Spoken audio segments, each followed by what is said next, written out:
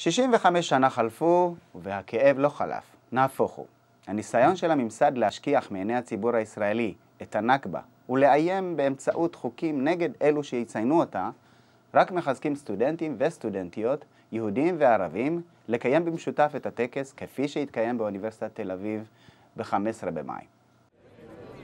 قائمة ببعض من أسماء القرى المهجرة الشيخ مونس السوالمة الجمامة خربة عتير العوجة حسان الخضر وادي فوقين.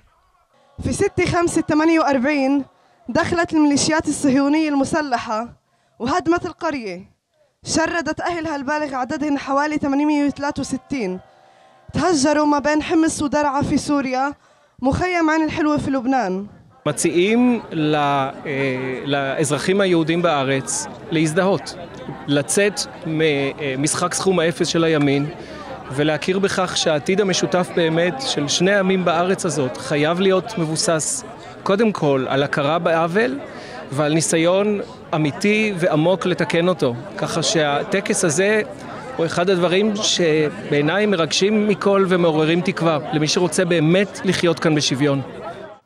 פעילי ימין הפגינו במקום במחאה על עצם קיום הטקס ובדרישה לבטלו.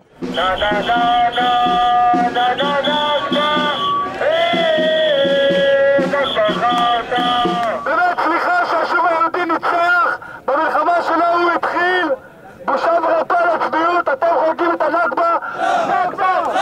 נכבה! נכבה! תיעוד מלא של הטקס ניתן לצפייה באתר הטלוויזיה החברתית.